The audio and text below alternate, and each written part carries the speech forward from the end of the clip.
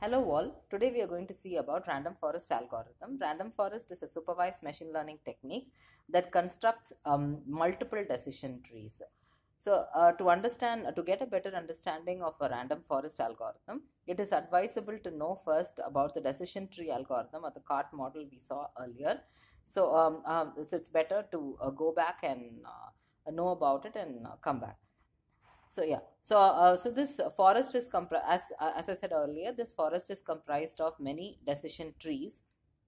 The final decision. So the final decision here means a classification problem or a regression problem is made based on the outcome of what majority of the decision trees make. So that's what uh, random th- that's what the crux of random forest is about.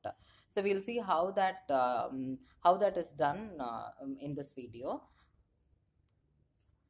so let's look at like why at all we need a random forest uh, in the first place. So uh, why? Because like uh, we uh, decision trees suffer from low bias and high variance. We know what is a low bias. So low bias means like the um, the, the model is able to fit uh, the model uh, is uh, able to accommodate the training data well. But high variance means like the performance is good for the training data set, whereas the performance gets low for the test data set. So that is high variance. So the low bias is a positive thing, whereas the high variance is not so. So this random forest introduce introduces some flexibility and converts this high variance factor and uh, converts the high variance factor into a low variance one. So that's why this uh, random forest is opted over the decision tree. Why? Because a classification or a regression problem, while when done with a, decision tree, is like uh, depending on a single tree. So whereas this random forest relies on many uh, trees, so which will introduce some flexibility and randomness also. We'll see what this randomness means uh, uh, shortly. So that is giving the high, uh, um, high, va- I mean low variance instead of high variance. So that means like your decision tree is a overfitted one. So whereas the random forest is not so. So let's uh, look at the algorithm step by step. The step number one would be to construct a bootstrapped data set.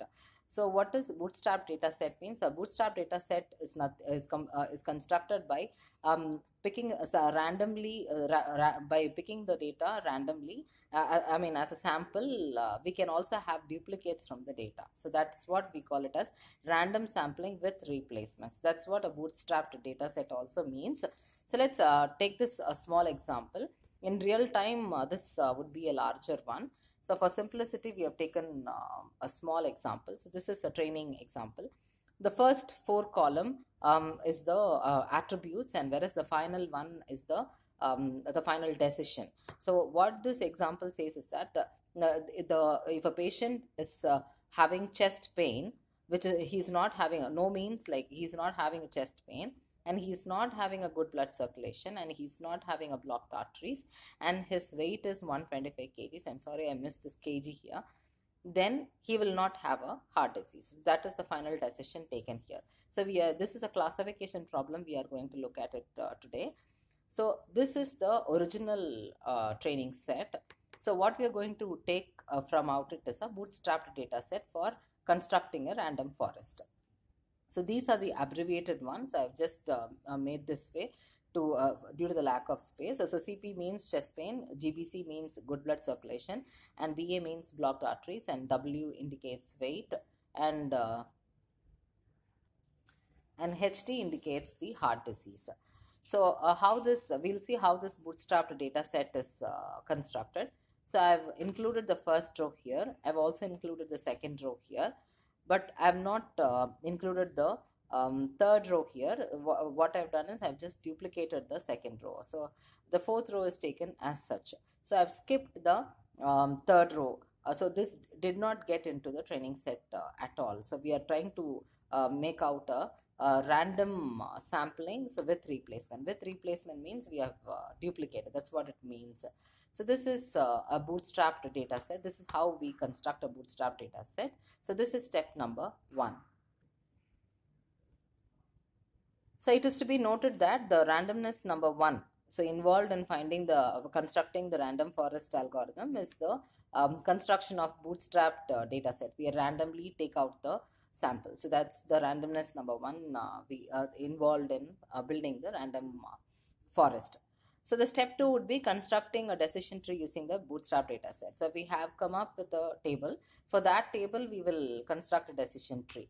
So here, while constructing this decision tree also, so in the CART model, which was uh, uh, taught earlier, so we will um, we will look for we will uh, uh, pay attention to choose the candidates which um, goes to the no, uh, root. So we have four attributes with us now: chest pain, blocked arteries, weight, and uh, the other one. Uh, but uh, which goes to the root? So the which goes to the root is the best candidate which will partially which will um, which will pa- partition the data well. So that's how we selected the root node. So um, and we'll also seek the help of uh, Gini index for that. But here what we're going to see is that so we have uh, uh, these four attributes with us so we'll randomly pick two attributes and we'll find the best one and we'll choose that as the root. So this is the second randomness that is going to get involved in the construction of random forest algorithm.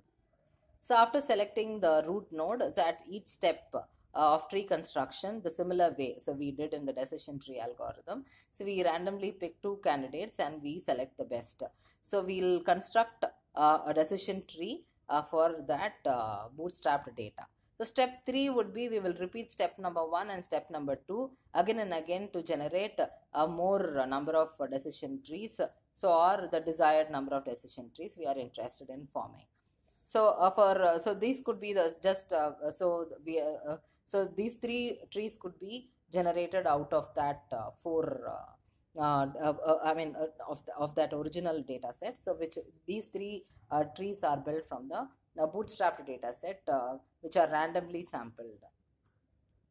Our training is over with the construction of decision trees. It is now time to test. So uh, the, uh, let's say this is the test uh, data we've uh, got. So a patient is not having a chest pain, a patient is having a good blood circulation, a patient is having a blocked arteries and weight is 178. So uh, what is the decision? So will he have the heart disease or not with uh, these uh, attributes. So what we need to do is that, uh, let's say we have seven decision trees, but three was only shown. But still, if we um, if we just think we have seven decision trees with us, with us and if we need to run this uh, test data or this uh, test data on each of the decision trees let's say we have five uh, decision trees which are spitting yes and two decision trees which are spitting no then we'll only consider the majority of the deci- majority decision uh, taken by the decision trees. So we'll classify that we'll uh, take a decision that that patient is having a heart disease. That's the that's how this works. So this uh, this is uh, how this random forest works so this method of taking many base learners, so here the base learners is nothing but the decision tree. So each decision tree is a base learner and we've taken so many base, base learners and we have aggregated. So aggregated mean aggregating the decision. So what we are doing is that we are taking the cumulative or the, um, uh, um, the majority decision. Uh, this uh, method of uh, doing is called bagging. So a method of uh, uh, taking many base learners and aggregating the decision is called bagging. So the randomness, so we can uh, see uh, two types of randomness involved. So one is uh, uh forming the training data set, so forming the bootstrap data set, that was one randomness. And uh, um, this and the other randomness uh, which we saw is in the randomly picking the um, attributes and constructing the decision tree at each step. So this randomness, this randomness is actually introducing the flexibility to the random forest compared to the decision tree and this is only um, contributing to the accurately uh, accurate prediction of the unseen da- uh, test data set. So you remember we skipped the third row, uh, third row of the uh, training data, the original training data, uh, while constructing the bootstrapped. So we may have missed so many uh, actual training samples. So, so that so, so this is actually making the uh, random forest to work well for the unseen test and also that aggregating. So that aggregating is actually introducing uh, uh, the flexibility again. So which is actually increasing the accuracy uh, in predicting the um, unseen uh, test data well when compared to the decision tree. So why the, the individual decision tree is uh, overfitted and it is it works well for training data. So that is overcome by the uh, random forest. So this is uh, actually involving the low variance. So, so low variance means like you have a good amount of accuracy in uh, training uh, data as well. And when you run a test set also it gives a good accuracy. There is uh, less variations between the um, training set and the test data. So that's what this low variance means. And that is uh, given by the random forest when compared to the decision trees. So this is about the random forest algorithm thank you